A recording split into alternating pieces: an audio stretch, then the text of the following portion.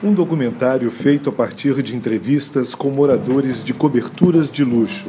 Esse espaço maior ele tem uma escala, né? Ele não é, é não entenda como o palácio, né? É, é o espaço é maior do conforto. Acho que todo mundo saiu de casa, na realidade, pela, pela questão da segurança e da comunidade. Você fecha a porta do seu apartamento, você vai embora.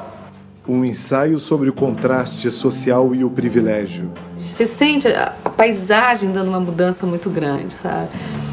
Você não tinha antigamente as balas tracejantes? Ah, sim, é lindo. A gente tem fogos quase que diariamente, do Dona Marta ali pro cemitério, sabe? É lindo. A própria sociedade, quando você chega embaixo e os zeladores dizem pro zelador, eu vou na cobertura, as pessoas já te veem de uma forma diferente.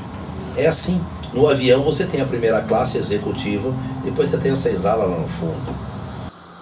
Um lugar ao sol. Aqui no canal Curta.